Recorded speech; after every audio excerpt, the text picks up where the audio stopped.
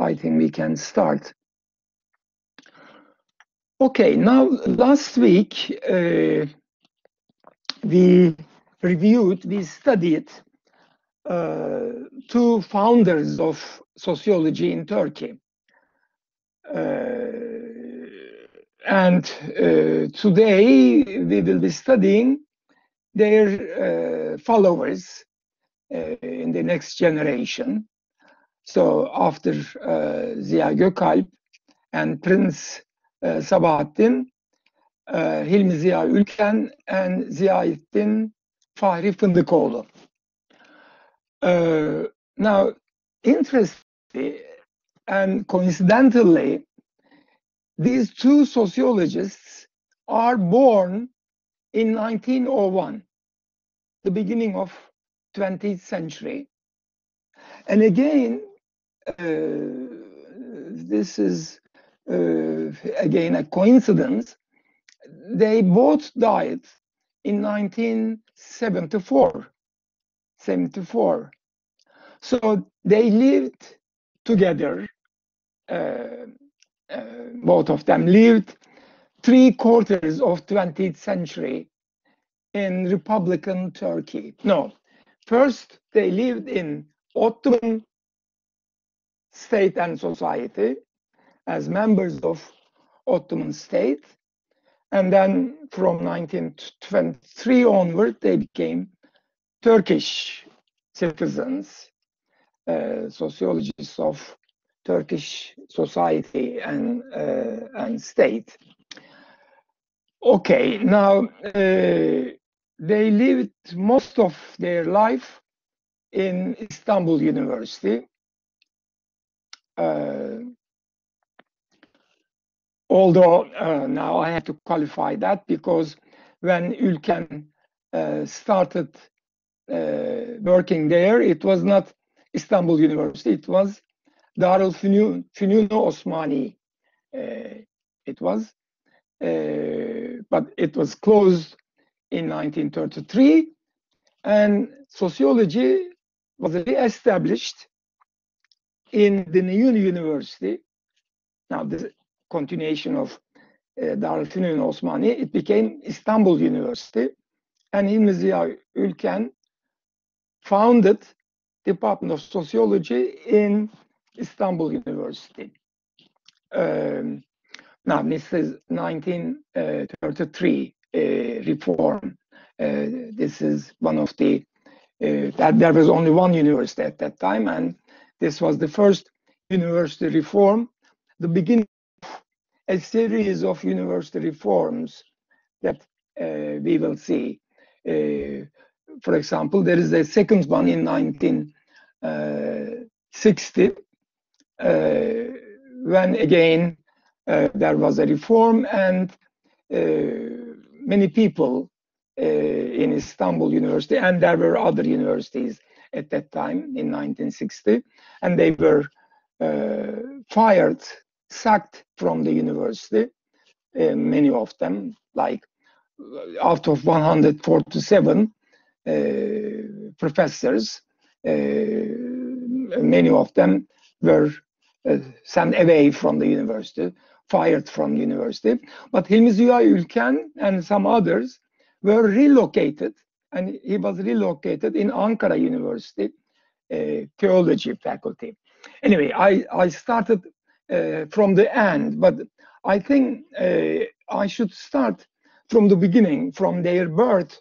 I mean, for both of them, their life is actually is a subject of sociology. As a, we should study their life as a monograph, a case study, a case study, which both of them uh, propose as one of the uh, methods of sociological research. Anyway, now let's let me apply it briefly into Hilmi Ziya Ülken's life. Now, uh, as I said, he is born uh, in uh, in Istanbul uh, and uh, in 1901, as I said, and was educated in Ottoman educational system. Now, Ottoman educational system was re-established gradually uh, from Tanzimat onward. Um, up to Tanzimat, there was an Ottoman educational system, a madrasa system. Uh, and it was these madrasa, madrasas in Istanbul and in other cities of Ottoman Empire, they were famous universities like uh, during 16th century, 17th century. But by 19th century, unfortunately, they declined and uh, a parallel parallel to madrasa system uh, uh, a modern educational system was established as Ibtidai, the, the primary school, Sultani, uh, etc., a new type of Ottoman educational system. And uh, Hilmi Ziya Ülken was educated in Istanbul Sultani, uh, and there were this, this, this is the one in Istanbul. There were others as well. He graduated from, okay, equivalent of present day lycée uh, in 1918. Uh, okay, then he continued with uh, Mektebi Mülkiye. Uh, Mektebi uh, Mülkiye uh, is a kind of uh, social sciences, social and legal sciences. Uh, uh, in um, okay, a kind of parallel to Dar el Funun no Osmani. This is a parallel college, maybe. it's not a university yet. it becomes university when it is being transported to Ankara in 1925 and becomes the center of Ankara University, uh, the social sciences, political science uh, section of Ankara University. Anyway, uh, so he uh, he graduated from uh, Mektebi Mülkiye, uh, the school of law, let's say, and entered into uh, Darul Funun Osmani uh, faculty of uh, literature and uh, human geography in 1921. So graduated from there and entered uh, into the university now, this or Darul Funun Osmani. Uh, now, as I said a few minutes ago, Darul Funun Osmani is closed in 1933 uh, and uh, a faculty of literature uh, opened within which uh, Hilmi Ziya Ülken founded Department of Sociology. Now, while he, he was a, a, member of Darul Funun Osmani, like uh, 31, 32, and before it was uh, being closed, uh, Hilmi Ülken was already active uh, sociologist, researcher, uh, and uh, he he started publishing. Uh, he's a young young one, and born in 1901. Uh, we are talking about 31, 32, so 30 years old, and already in 1933, 34, uh, uh, Uh, uh, he published this history of Turkish thought, history of Turkish thought, Türk tefekkürü tarihi. That is the uh, uh, the name of the book, Türk tefekkürü tarihi, and it is rumored that, or it is written in several places, Mustafa Kemal Atatürk read this book and liked it very much. I will talk about it uh, in few minutes. Uh, and uh, Hilmi Ziya was sent to Germany, to Berlin, to to continue his studies, to further his studies, to use uh, libraries there, university libraries and other type of libraries uh, for further uh, study, and came back and did his continued his publications, did other other research. but but I should note this before this publication of this uh, history of Turkish thought in uh, 1931 he published two other books. One was uh, Umumi İçtimaiyat or General Sociology. Uh, general Sociology. So this is a kind of introduction introduction to sociology uh, instead of sub branches of uh, sociology, a general introduction. And ethics of love, ethics of love, aşk ahlakı. Uh, so actually, uh, Türk Tefekkürü Tarihi, History of Turkish Thought, which is published in 1933 and 34, was his third and fourth books. Uh, uh, and parallel to this, he published uh, his another book, which where he he develops an idea of nationalism, a humanistic nationalism.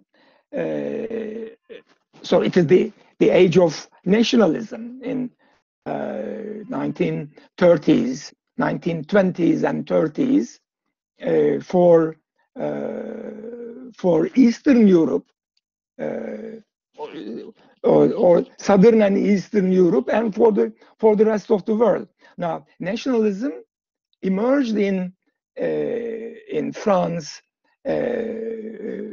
and England earlier, uh, perhaps, uh, but uh, Uh, in Germany and in Italy, uh, in the rest of uh, Eastern European countries, and it traveled to into Ottoman Empire, nationalism, nationalism. when we were talking about Ziya Gökalp, remember he was talking about three currents uh, uh, Türkçülük, uh, Turkism or Turkish nationalism, Islamcılık, Islamism, and uh, uh, and Ottomanism, Ottomanism. Uh, okay, so of the main three currents in the end of 19th century and the and the first 20 years uh, of 20th century, these three currents were competing each other. Uh, Ottomanism uh, was defeated because Ottoman Empire is dissolved at the end of the First World First World War. Uh, so uh, nobody anymore defended Ottomanism. Ottomanism was an multinational, multi-religious, uh, polyglot, imperial imagination. Uh, for example, um, Prince Sabahattin's ideas, liberal ideas, pluralistic ideas, emerged in that in the Ottomanist uh, ideology uh, context in one sense, although it is being influenced by France and, French and British uh, British uh, approaches to education and liberalism. Anyway, anyway, let's let me come back to uh, Hilmi Ziya Ülken. Hilmi Ziya Ülken's book, which is published parallel to his History of Turkish Thought, is İnsani Vatanperverlik, İnsani Vatan, Humanitarian Patriotism. Patriotism. So, uh, uh, Hilmi Ziya Ülken's nationalism is not race-based, and it is uh, uh, land-based um, within the boundaries, within national boundaries.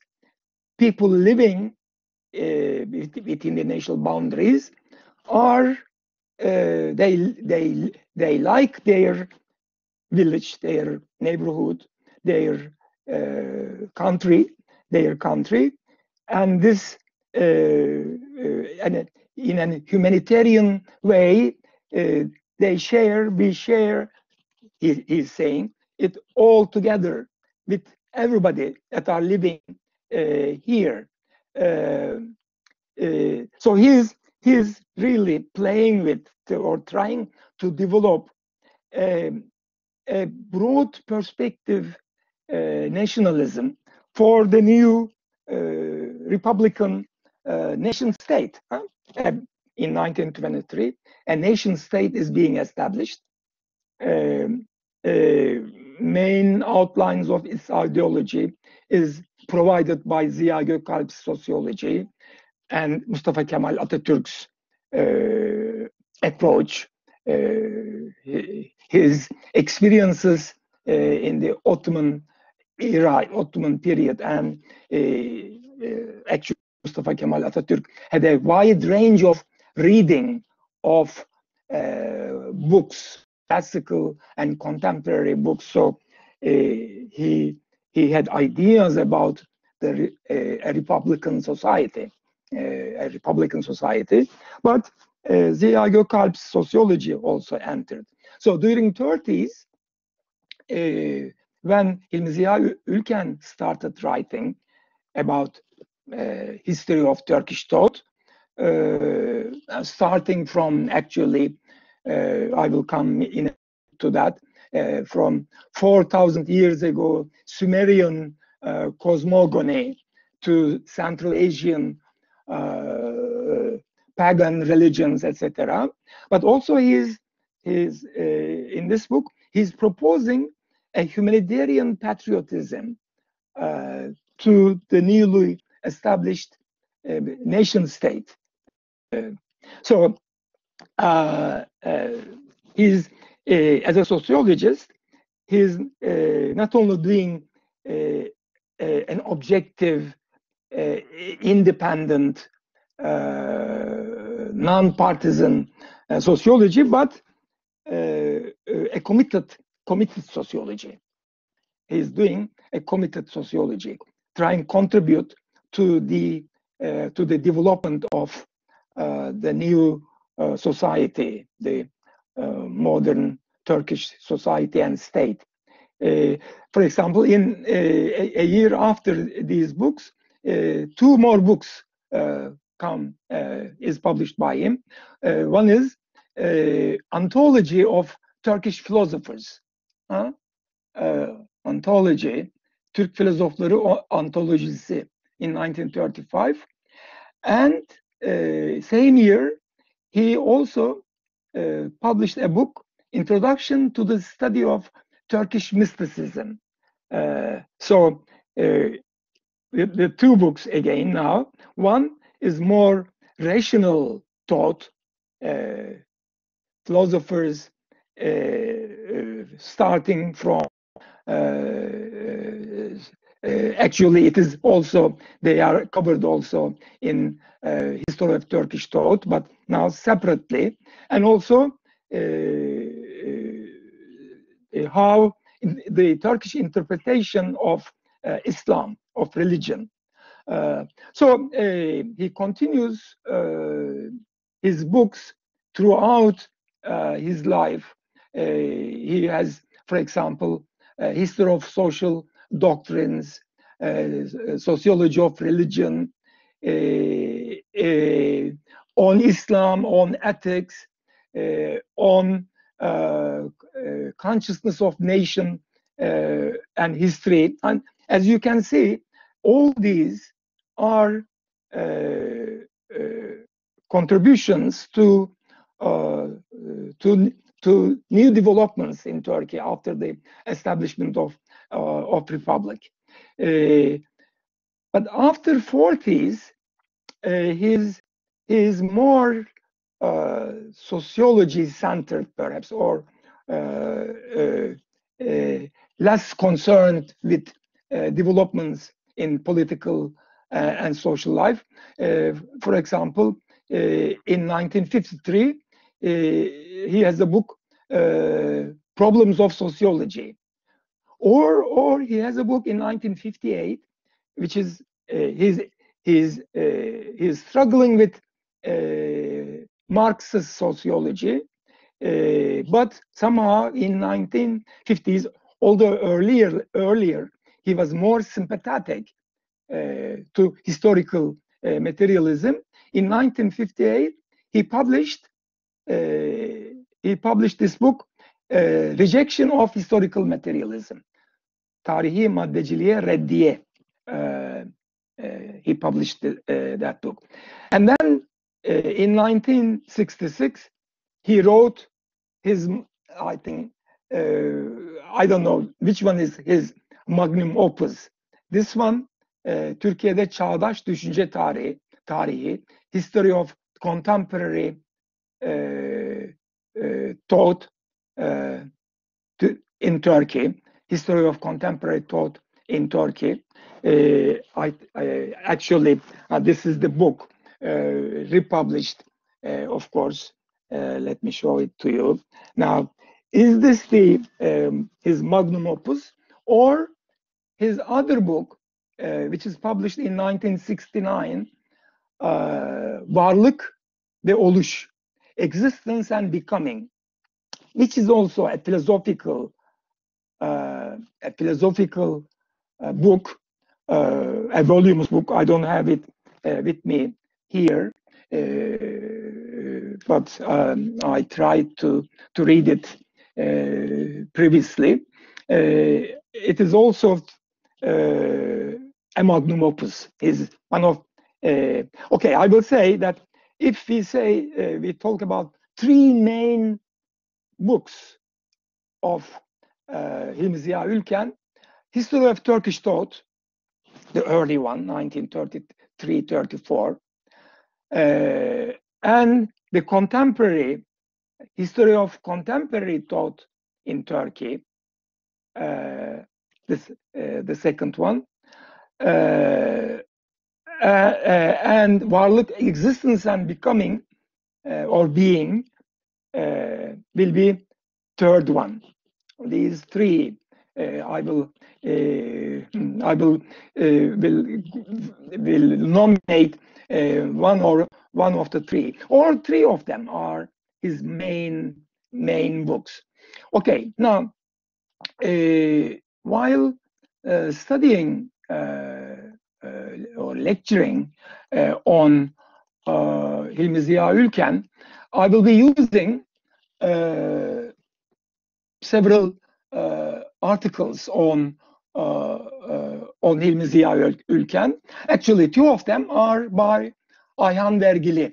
Uh, now, Ayhan Vergili published uh, one uh, chapter in this book, which I have shown uh, to you earlier. Uh, and then he also published an article in a journal. The, uh, the first one is in Turkish. The second one is in English. a Turkish sociologist as a bridge. I will come to this. Thirdly, I will use I will use another one, a sociologist, Kaçmazoğlu, who has written Turkish sociologists book or chapters of Turkish sociologists, a book used by Erzurum Atatürk University uh, uh, Sociology Department, uh, open open education, open education sociology department, and he, he he actually actually wrote chapters on on Hilmi Ziya Ülken and also Ziyahattin Fahri Fındıkoğlu, to whom uh, we will come uh, in a minute. Anyway, okay, now. Uh, Ayhan Vergili uh, divides uh, uh, Hilmi Ziya Ülken's life, which uh, I, which I already reviewed uh, by uh, focusing on his education and uh, the publication of some of some of his books. actually, he he published so many books actually, and if you include all his publications, it is over 1,000, 1,300 publications. But newspaper articles included. Uh, anyway, uh, so uh, the books that I just mentioned so far are few of them. Few of them. Okay, now the three period, four periods of uh, Hilmi Ziya Ülken's intellectual development. First one is between uh, 1918 and 1933. Uh, he's in 1918. He's, he graduates from an Ottoman uh, Sultani uh, an equivalent of uh, a lycée, a high school, uh, and then again an Ottoman higher education school, Mektebi Mülkiye, and then he enters into Darul Fununu Osmani. Actually, for young people, Darul Funun, you heard of this and you know may, maybe the meaning, but Dar in uh, Arabic is house, house, uh, or area, or uh, fünun, fen, fen, uh, fen kolu, you remember from your uh, high school education, uh, are sciences. Uh, so Darul Fünun is house of sciences, various sciences. Uh, natural sciences and social sciences. But uh, unfortunately, uh, especially Ziyaettin Fahri Fındıkoğlu dwells on the, on this issue. Uh, Darülfünun was not very productive in sciences during last 60 years, maybe from and in 1933 then it was closed. Uh, it was, uh, especially in natural sciences, it was not very uh, productive uh, at all. It was, anyway, uh, it was closed. S several departments of it were closed previously. Anyway, yeah. Uh, okay, so this is the first period. And in this first period, his influence by Gökalp and Gökalp's contemporary or Gökalp's student, one of the students, Fuat Köprülü, who is an, an important historian, Turkish historian, Fuat Köprülü. So that's the first period. Now, after Darülfünun became Istanbul University and he became the founder of sociology department and the head of the uh, chairperson of the sociology department. Uh, so this is the post-university reform period. Uh, and he, is focusing on dual focus. Uh, on the one hand, he's focusing on history of Turkish thought, uh, which in uh, the following two years he will publish as History of Turkish Thought, and also focusing on uh, Western uh, philosophy and sociology. Uh, so, uh, uh, and uh, and after he he is being one of the founders of the sociology, he was sent to to Berlin, as, as, as I already said. Uh, and then after he came back, uh, he continued uh, in uh, sociology department in the uh, Faculty of Literature of Istanbul University.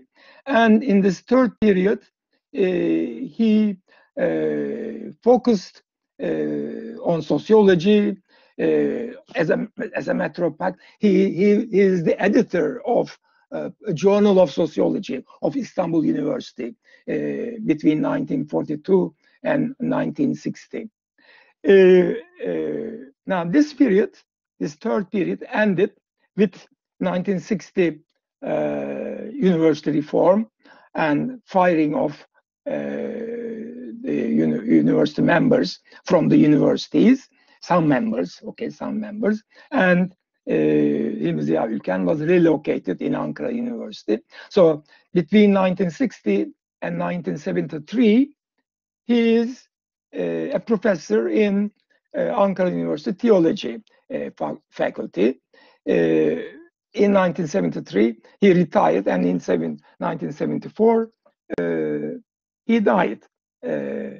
unfortunately, he could have continued writing actually. Now, I mentioned about his three books uh, as magnum opus. Two of them uh, sociologically interesting. Uh, and uh, I think I have to briefly go into these two books. one is, as I said, History of Turkish Thought. Now, in this book,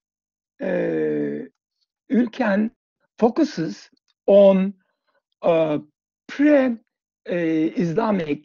uh, Turkish thought. Huh? Uh, now he's talking about uh, mythology and cosmogony of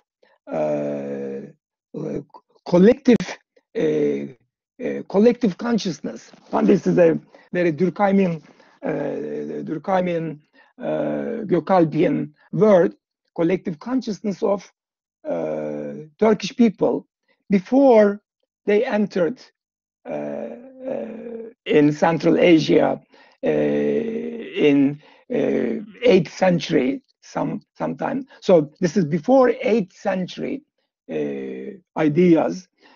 So he, he goes into technical aspects of the knowledge uh, that that was being that was prevalent uh, there, and how Turkish thought the thought of those people, Turkish people, talking Turkish uh, in Central Asia. We are we are talking about Central Asia, and how this thought, the formation of this thought, is being uh, uh, uh, uh, being influenced by other currents of thought in the neighboring countries. So uh, when we think neighboring uh, countries uh, for Central Asia, one of the most influential neighboring uh, culture civilization is Persian civilization.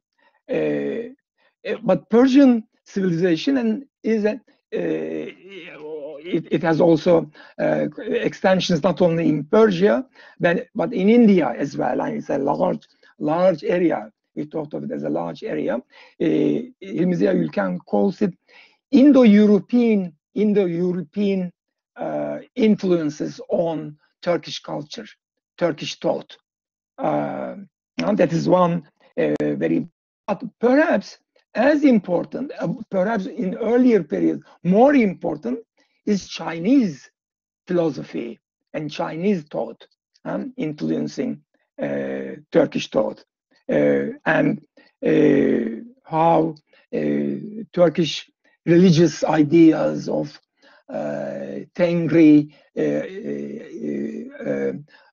sky, God, and all these ideas, how they are being influenced or still kept separate for example, from uh, Buddhist influences or Confucian influences coming from China or Buddhist influences coming from uh, uh, coming from India or uh, Manichaeistic influences coming from Persia. These are all influences, but there is also, he includes here, a Greek influence. Now, what is the what is the relationship of Greek thought uh, for Central Asian cultures. Uh, there is some influence because, as you know, uh, Alexander the Great um, around fourth century before Christ, with his armies crossed Uh, the Aegean, uh, uh, walked through Anatolia, Persia, India. so um, Alexander the Great went up to the the Chinese Chinese lands, Western Chinese lands. So there is that influence. so he talks about that. Of course, there is a spread of Christianity and Judaism, etc. Uh, now, in the second part of the, this book, he talks about uh, Islamic Turkish uh, thought. Uh, and here uh, he uh, makes this difference between sciences, rational sciences, and religious sciences. Uh, religious sciences. Uh, in in Ottoman, uh, this is akli ilimler is called rational sciences. Nakli ilimler is called religious sciences. Now, akli ilimler, reason itself brings out a new type of knowledge, can bring, can criticize the previous one, and whereas in Nakli, it comes from uh, uh, the book, the sacred book. so it is already given and being uh, reproduced, uh, although it is also being uh, developed. For, for example, development of that religious thought in a new direction is mysticism. mysticism, on the one hand, an emergence of Turkish scholasticism, he call, calls it, and philosophy. Uh, uh, when we, talk, we were talking about uh, uh, before uh, Ziya Gökalp, what was the history and sociology that existed in Ottoman Empire and in the preceding era, Eh, if you remember, but mainly eh, in the eh, Islamic period, we mentioned he mentions about Farabi and his Faziletul Medina, the the good city. He talks about Ibn Sina as the founder of medicine and his books being used in Ottoman Empire as well as in in Europe. And then he goes into into Seljuki period and how a, a more uh, political uh, uh, legal uh, philosophy thought develops there. For example, Nizamul Mulk uh, founding a new idea of state administration, state authority, how state and various branches of the state, uh, Nizamül Mülk, Yusuf Has or Shahabeddin Suhreverdi. You know, these are uh, the thinkers uh, that he goes into in this two, and this is a two-volume book, uh, history of Turkish thought, and then how in in a later period uh, this thought that in the Islamic period. Actually, this is the uh, Turkish Islamic thought and how it has a Western branch. Uh, Muhyiddin Arabi is a uh, mystic, is a philosopher uh, in uh, in Western in Spain. Actually, Spain was uh, Muslim at that time. In Muslim Spain, uh, Cordoba, in the city of uh, Cordoba, and Ibn Rushd actually was was there. Ibn Rushd criticizing uh, Ghazali and Ghazali criticizing uh, Farabi and Ibn Sina, and that there is uh, actually a dialectical development of thought there. Greek philosophy being translated into uh, Arabic, uh, and then uh, Farabi and Ibn Sina transforming it and developing it, and then Ghazali criticizing criticizing it, and then Ibn Rushd criticizing Ghazali. For example, the names of the uh, uh, the books are very interesting, and it reveals this dialectic. Uh, dialectic. the name of the book Ghazali writes is Tahafutul Philosophia. Tahafut, contradictions of philosophy of Farabi and Ibn Sina. And then Ibn Rushd writes Tahafutul Tahafut, contradictions of contradiction. Contradictions of the book Contradictions of Ghazali. Uh, so this, really, this is this period is a very active uh, period in uh, Islamic uh, Islamic history of thought, Islamic history of uh, philosophy, of science, all these uh, criticisms. Anyway, science thought develops through mutual criticism. Uh, uh, so then he goes uh, into the Ottoman period. But before that, he, while in the West, there was Muhyiddin Arabi and Ibn Rushd. in the East, there was Mevlana Jalaluddin Rumi. and in again in the in the West, there was this Sadreddin Konevi.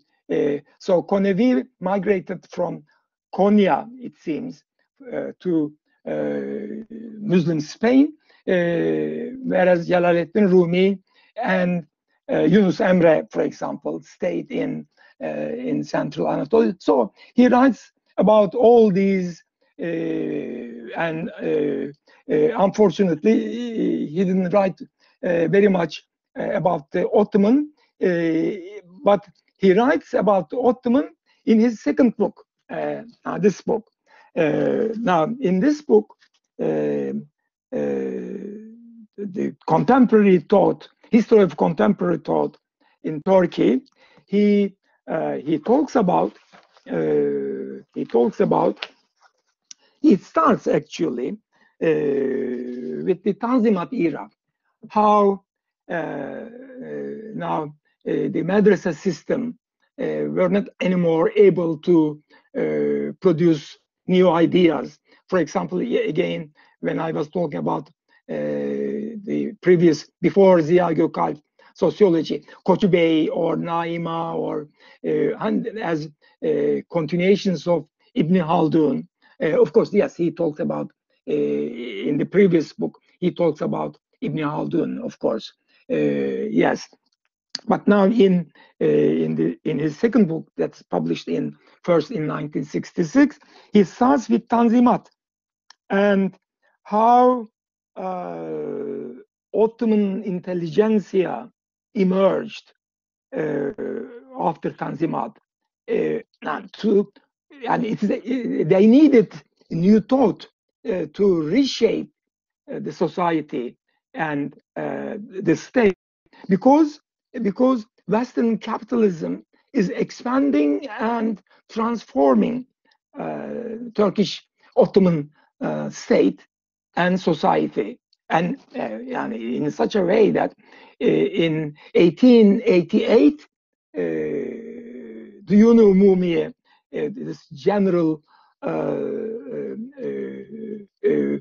tax extraction administration administration is being established within Turkey to uh, so Ottoman uh, state were not able to pay its debts to uh, European uh, banks and uh, from wherever they borrowed uh, borrowed money. Now they established Uh, uh, an administration to collect tax from Ottoman lands and uh, and to pay uh, Ottoman uh, Ottoman debts.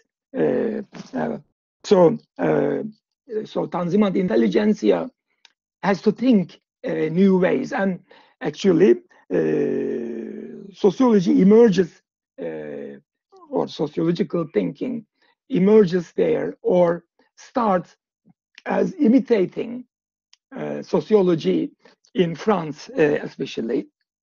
So this is the first chapter. Second chapter uh, is about uh, first constitutional monarchy. Uh, third one is uh, second second constitutional monarchy, and there especially he goes into, for example, Satı el Husri. Now, I didn't mention Sati el Husri when I was talking about Ziya Gökalp, but uh, he's an adversary of uh, Ziya Gökalp. While uh, Ziya Gökalp is more uh, against uh, Ottomanism uh, and against Islamism, uh, he's he's lining more toward Turkism, Turkish nationalism, as you know. Now, Satı el Husri, Satı Bey, he was called at that time, uh, was uh, more uh, ad advocating a more uh, cosmopolitan, pluralistic, uh, pluralistic in a way, an Ottomanistic uh, approach in education and in in the in the transformation or reorganization of the state. Uh, Satı el-Husri. So he goes into uh, Satı el-Husri later uh, migrated uh, to Egypt he, and he became uh, one of the influential thinkers of Egyptian Egyptian intelligentsia. So he goes into Emrullah Efendi and his educational reform, uh, Hoca Kadri, you know, all these Baha Tevfik, Rıza Tevfik, uh, and then he comes to uh, İsmail Hakkı İzmirli, Ziya Gökalp, of course, Prens Sabahattin. They are all uh, being discussed and summarized here in this book, in this uh, uh, the uh, contemporary uh, history of contemporary thought in Turkey. And then he comes in the fourth chapter, Republican period.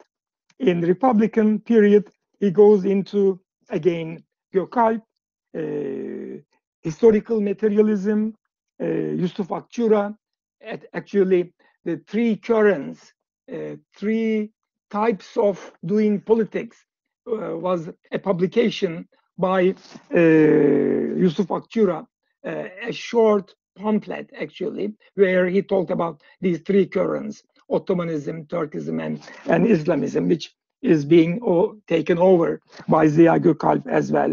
So he goes into uh, Celal Nuri İleri, Ahmet Ağaoğlu, uh, pragmatism, uh, really all kinds of uh, more recent ones. Hasan Ali Yücel, for example, uh, one of the uh, ministers of education.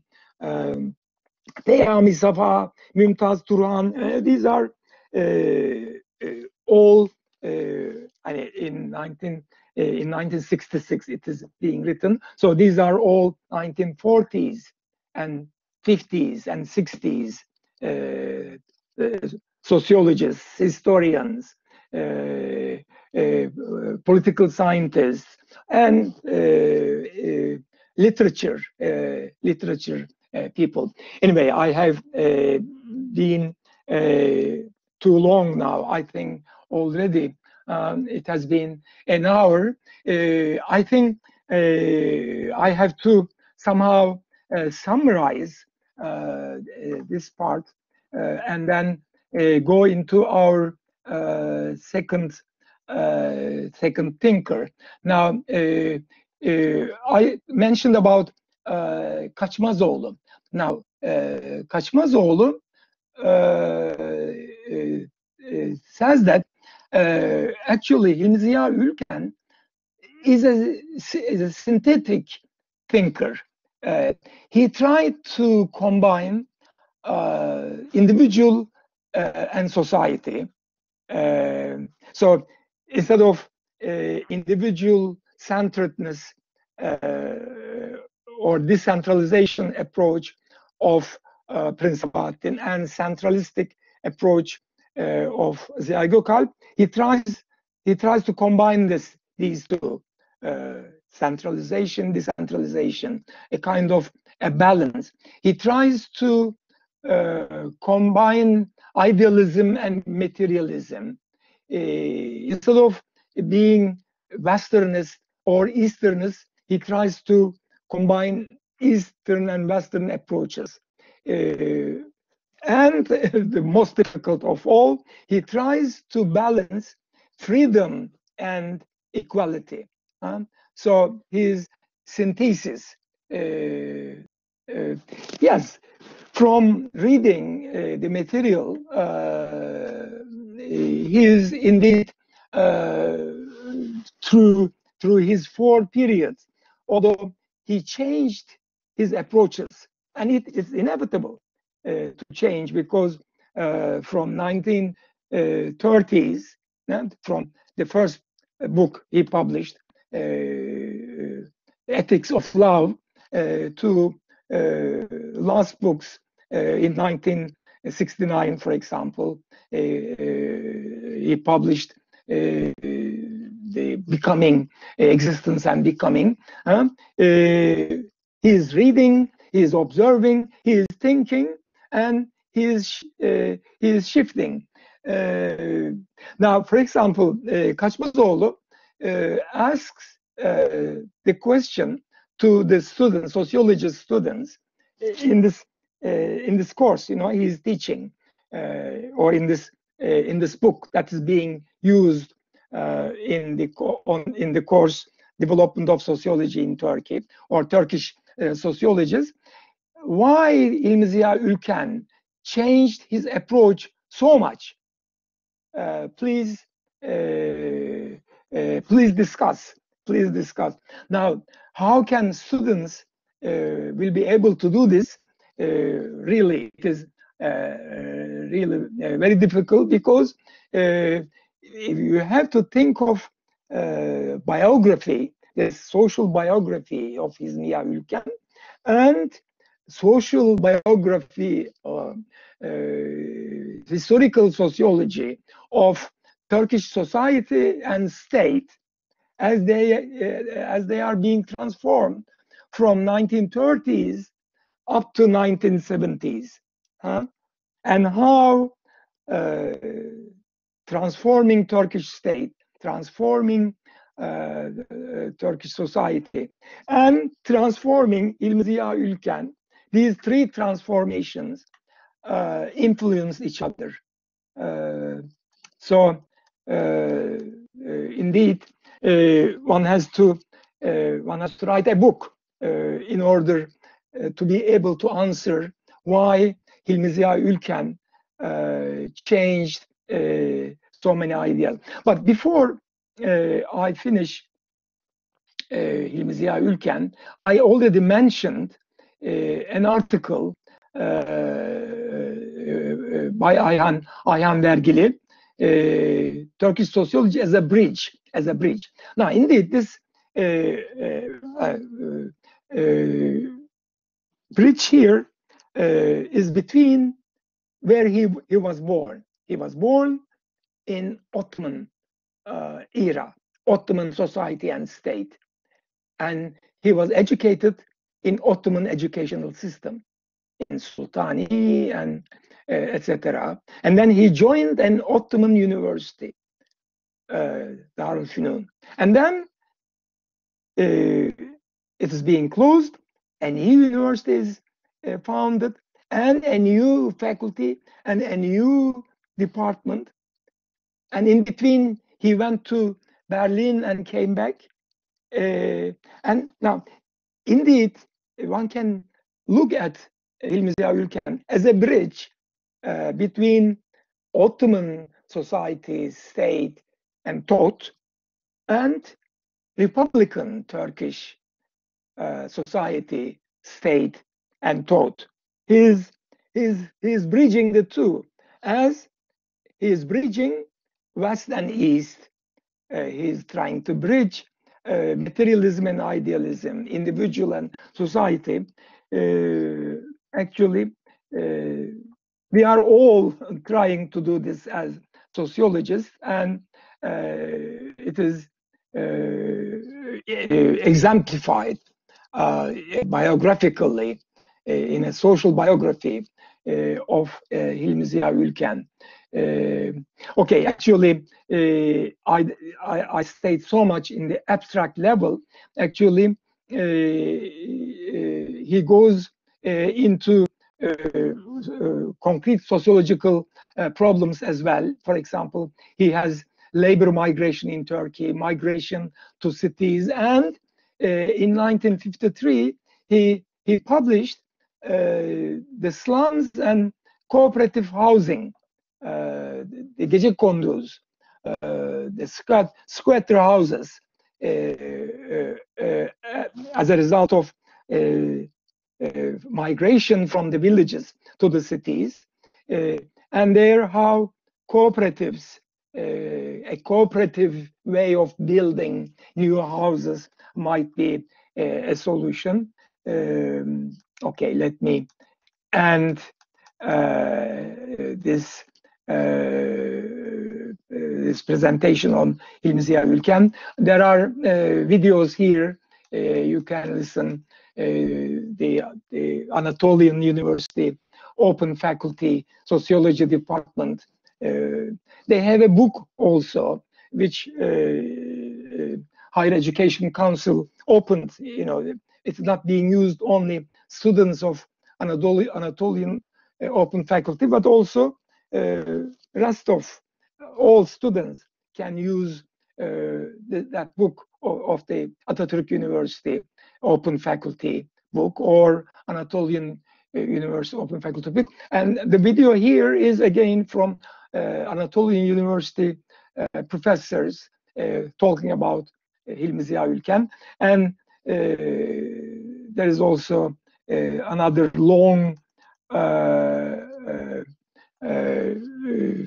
video on Hilmi Ziya Ülken by Kurtuluş Kayalı. Okay, good reading. and actually you can, uh, there is a radio, uh, a brief uh, radio presentation. now you can also listen to that on History of Turkish Thought. okay, now. Ziyaettin Fahri Fındıkoğlu. As I already said, they are contemporary. They are both born in 1901 and died in 1974. Here, the main source for presenting Ziyaettin Fahri Fındıkoğlu is Nevin Güngör Ergan's chapter uh, on Ziyaettin Fahri Fındıkoğlu in uh, the book that this Çağatay Özdemir uh, edited book. Uh, actually, uh, she has written a PhD thesis on Ziyaettin Fahri Fındıkoğlu and also Kaçmaz's chapter on on Ziyaettin Fahri Fındıkoğlu. Now, while Hilmi Ziya Ülken was a graduate of uh, uh Sultan uh, Sultani Istanbul uh, a lise, a high school, an Ottoman high school in in Istanbul. Ziyaettin Fahri Fındıkoğlu went into an occupational uh, school, uh, post and telegram school. He graduated in 1922 as a uh, uh, as a post uh, and telegram uh, technician. Uh, technician. Uh, it's a technical education, so occupational technical school. But somehow he wasn't content with it. With it, although he, you know, he had some uh, technical education. He also uh, went into uh, philosophy department of Istanbul University. Uh, actually, Istanbul Darul Funun, it was at that time Darul Funun, between 1922 and 24, and graduated from Darul Funun philosophy department and uh, became a teacher in Erzurum uh, uh, Lise, or at that time still Sultani, being transformed into new type Republican. as you know, in 1924 is the the founding year for the new Republican educational system. Uh, and then he, he's moved to Sivas uh, as a philosophy and sociology teacher again in a high school, and then came to Ankara uh, and Ankara uh, girls uh, girls school, Ankara girls school, where he was philosophy, sociology, and literature teacher between 1926 and 29, and then uh, he decided to have a sociology PhD and went to France. Went to France, uh, to Strasbourg uh, University, and uh, there he had then a second philosophy bachelor degree, and then in the meantime, he came back to Istanbul University and appointed uh, as a, a, member of the faculty, uh, but uh, he, he went back to Strasbourg, Strasbourg University in 1935-36 to defend his PhD thesis and obtained the PhD thesis in 1936 and uh, appointed as an associate professor of uh, sociology and uh, community knowledge, sociology and community knowledge, uh, but not in the uh, faculty of literature as sociology department was, was, but in the faculty of economics, faculty of economics in 1937. So in 1937, then there were two units in Istanbul uh, University. One in uh, Faculty of Economics, where Ziyaeddin Fahri Fındıkoğlu started teaching uh, sociology, and the other one in Faculty of Letters, Faculty of Literature, where Hilmi Ziya Ülken. Now, these two. Now, in uh, in uh, Ziyaeddin Fahri Fındıkoğlu's uh, department, there was also a German uh, professor, Gerhard Kessler, and Gerhard Kessler is one of the uh, thinkers uh, who left Germany when uh, Hitler, uh, Hitler's fascist regime came into power in Germany. Uh, many professors, many scientists uh,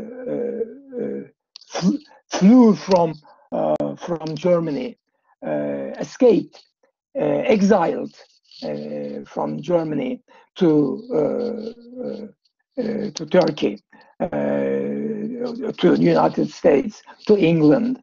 it, it was really a, a, a disaster from from the point of view of the development of uh, natural sciences as well as social sciences for especially for Germany it was a disaster anyway coming of uh, Hitler's a fascist regime into power in Germany was a disaster, not only for Germany, for the rest of Europe, because Second World War, he started Second World War, and millions of people uh, were killed. But in the meantime, many professors escaped from Germany and came to uh, uh, to uh, to Turkey uh, into various sciences branches, and Gerhard Kessler into economics faculty into uh, sociology. Uh, so Gerhard Kessler and Ziyaeddin Fahri Fındıkoğlu were together. You see, I am dwelling on biography of Ziyaeddin Fahri Fındıkoğlu like I did uh, dwell uh, on social biography of uh, of Hilmi Ziya Ülken because their lives. I mean, it's a case study, case study about the era, that era you know, between 1930s to 19, the middle of 1970. You know, to understand that period, Turkey, Turkish uh, transformation of Turkish society, Turkish culture, Turkish state, uh, we have to uh, study uh, these thinkers, these sociologists, and their books, their lives. Anyway, okay. Uh, okay, now, um, uh, if, as I said, if I go into uh, the books that, the books and articles uh, that uh, Fahri Fındıkoğlu published. His, uh, his first publication was on language. Actually, being educated in France, he, he was able to compare developments on of Turk, Turkish language. And Turkish language is being transformed from Ottoman language to Turkish language. Actually, and there is a, a, transformation in the language. Uh, in 19, uh, uh, as uh, as, a, as one of the reforms, uh, Arabic letters are left behind, and Latin alphabet, Arabic alphabet is left behind, and Latin alphabet is being adopted. And together with it, uh, together with it, the Arabic and Persian words uh, are uh, uh, purged, in a sense, from Ottoman, so that Ottoman will be gra gradually closer to spoken Turkish, spoken Turkish, because Ottoman language was more a language of Ottoman intelligentsia. Uh, Ottoman intelligentsia knew, of course, Turkish, Arabic, Persian, and a Western language. Huh? Actually, you know, they were very, uh, they were intelligentsia, really. They were speaking, uh, no, they knew four languages. Huh? Uh, the, the thinkers that uh, uh, uh, Hilmi Ziya Ülken taught in his history of contemporary Turkish thought, and the, especially the, the Ottoman ones, uh, the Ottomans one. You know, they knew uh, Arabic, Persian, of course, Turkish, uh, and French, usually. French. Anyway, Ziyaeddin Fahri Fındıkoğlu compared how French language was transformed from uh,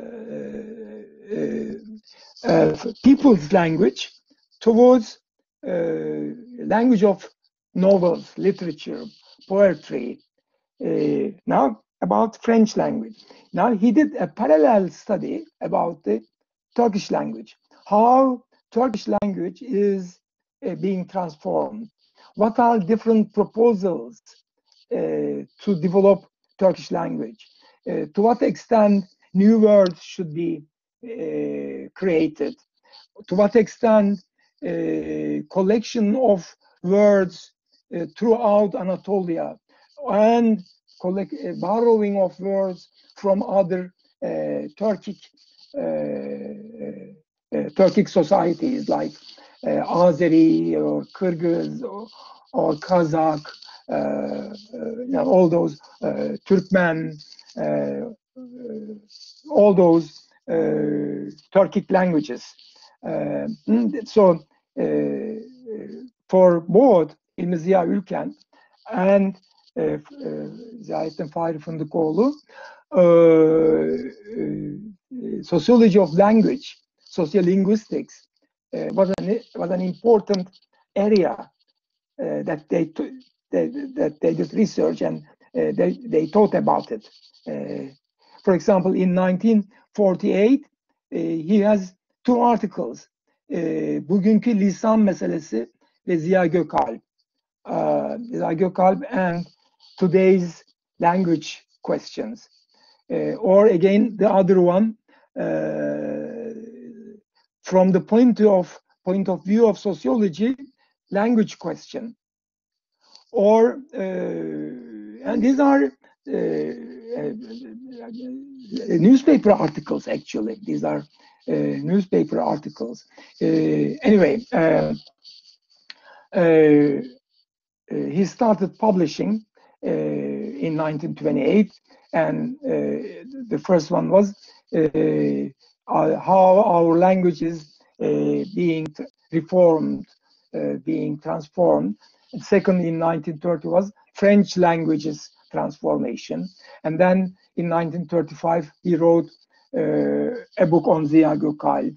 And then uh, next year uh, and the following years, the three volumes of History of Morality, History of Morality, uh, uh, or Ahlak Tarihi, History of Morality or History of Ethics, uh, depending on uh, normative, if it is normative aspects, it is history of morality.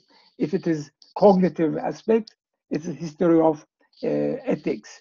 Uh, and then there are philosophy congresses, and there he talks about again what are the conditions of the development of science and and philosophy uh, in Turkey. Now, this one is published in 1938, and I uh, I uploaded uh, this article here Uh, for you uh, to read. Uh, actually, it is how he goes into into the into history uh, and uh, for example, he starts he starts this article. It's a short article actually. I advise you to read it. Uh, a quotation from an Italian thinker during 18th century. Huh? This is 1700s.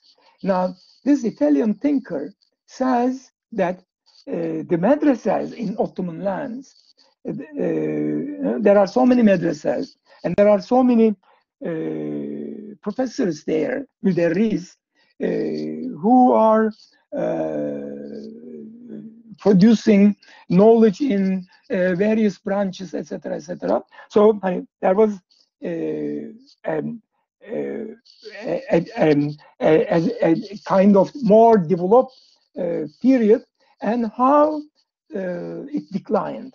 How he, he goes through how it declined uh, and he comes into Tanzimat and he, you know, the similar uh, lands, similar thinkers he talks about like Hilmi Ülkendis, but in a short article.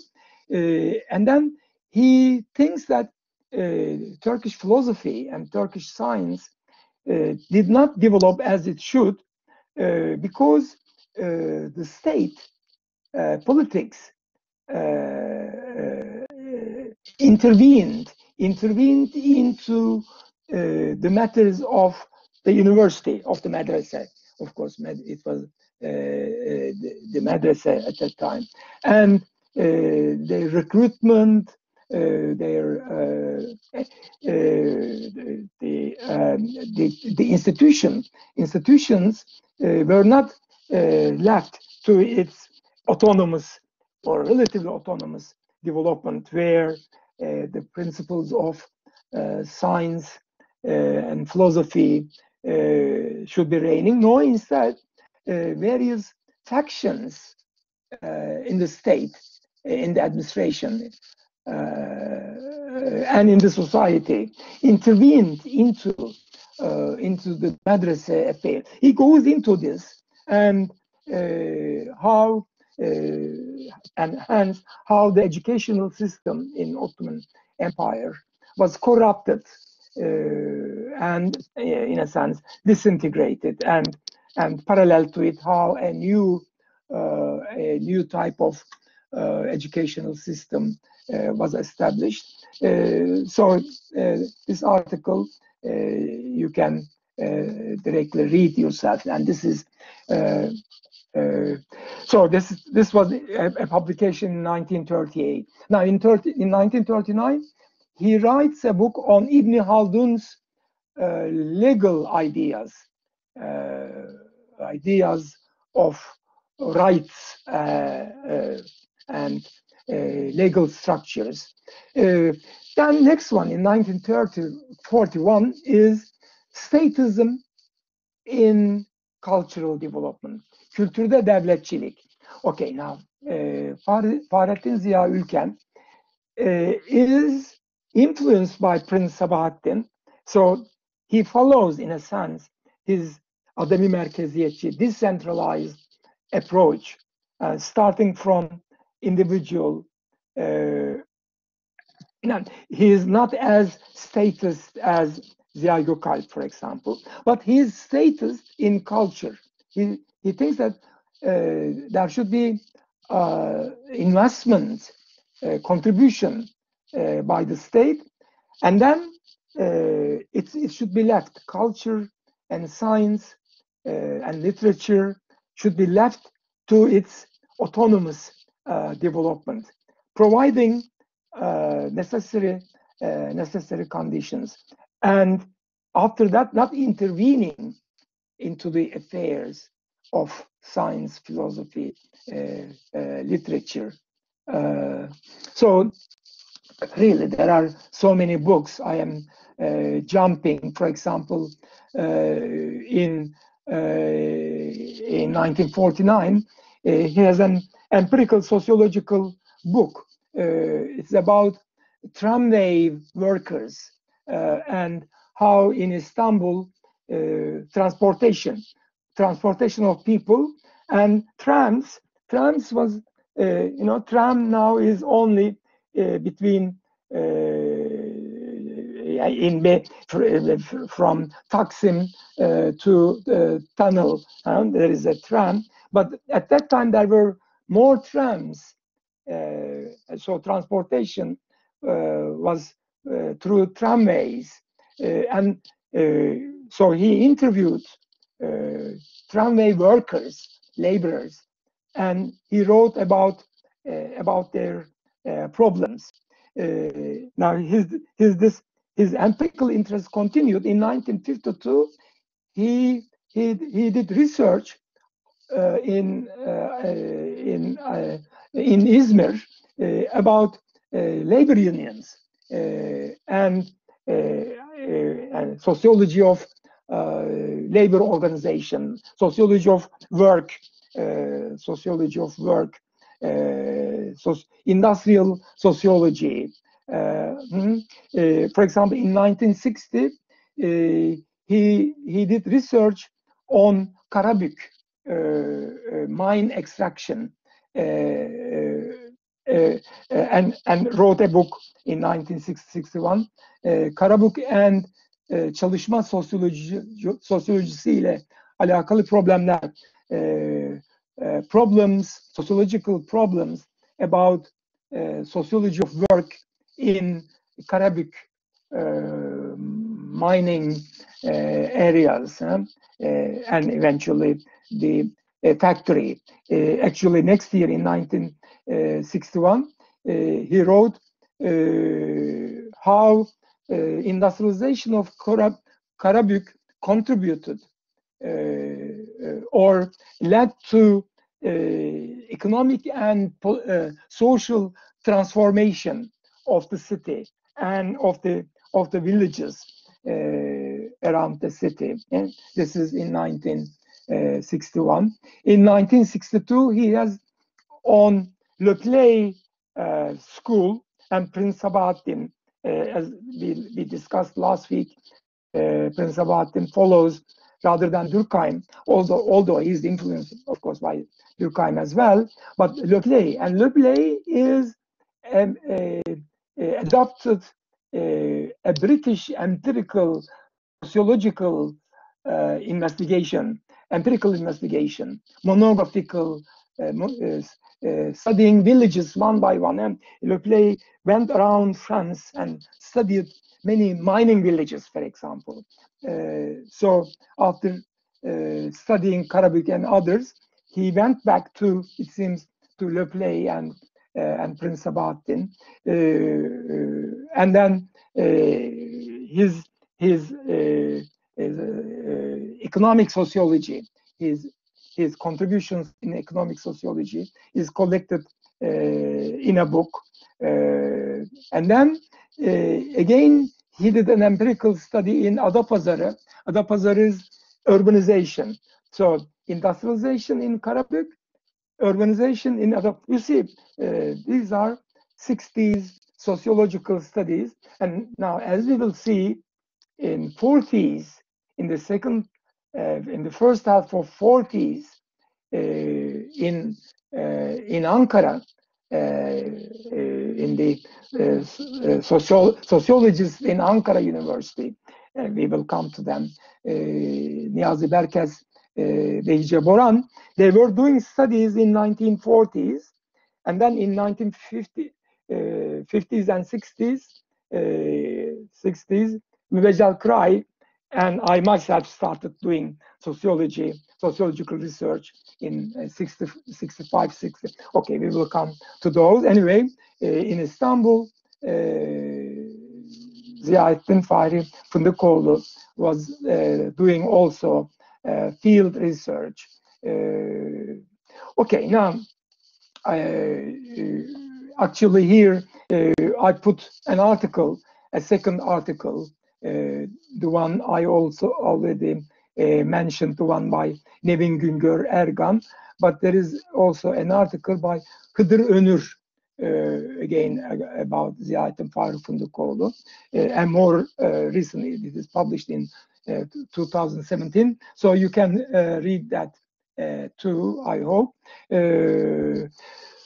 now, let me finish uh, these uh, the the presentation on these two second generation sociologists Hilmi Ziya Ülken and uh, Ziyaeddin Fahri Fındıkoğlu by comparing them in a sense. Now, how, uh, although uh, they work in the same university, how uh, uh they diverged and converged. Now, in, in some cases, uh, they converged, uh, focusing on uh, the problems of uh, Republican Turkey, uh, the state, culture, society, and their transformations. Uh, and they, they, both focused on that.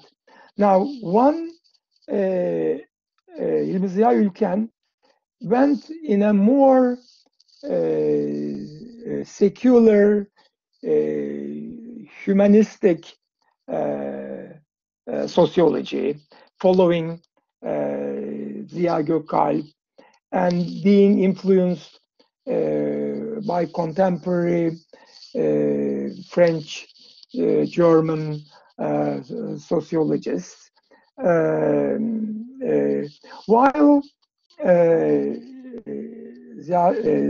Ziyaeddin Fahri Fındıkoğlu is more nationalistic oriented. Maybe he's one of the initiators of uh, uh, you know, recently uh, it is in the in the everyday language.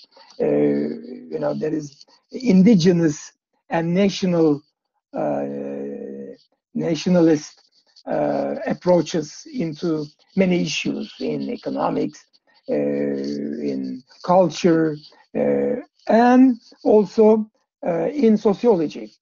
so Ziyaeddin Fahri Fındıkoğlu had this um, uh, although although he was very much against intervention of politics and state into development of sociology or sciences, social sciences, or natural sciences. Uh, uh, uh, yet he was also for a nationalistic development of culture, a national culture, in the development of national culture, and a nationalistic culture and a nationalistic sociology. Now, can there be a nationalistic sociology?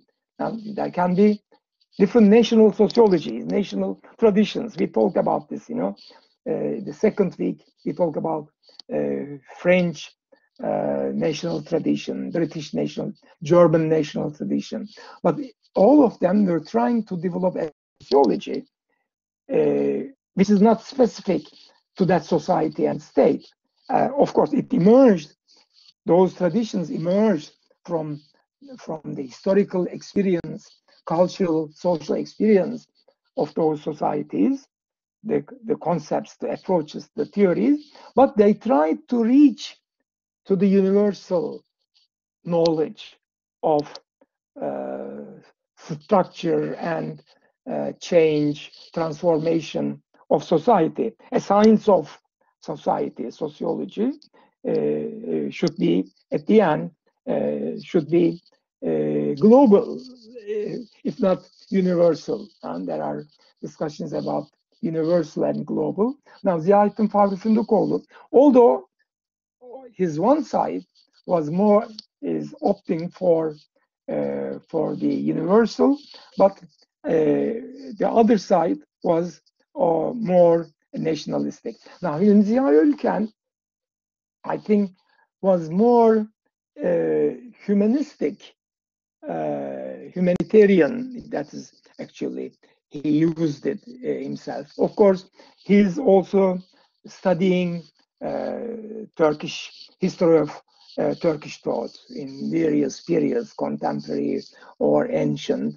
Uh, but uh, he's trying to develop a sociology uh, uh, which is which is universalistic. now, both of them, of course, has this positivistic sociological understanding. And 1930s, 40s, 50s, uh, positivism, positivistic approach in social sciences is dominant.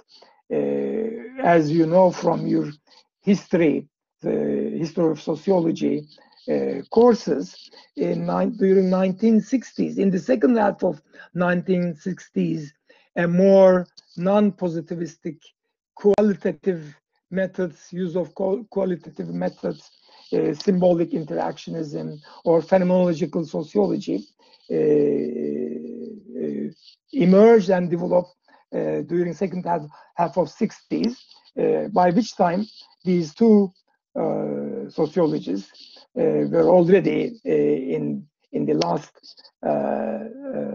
10 years of their life. so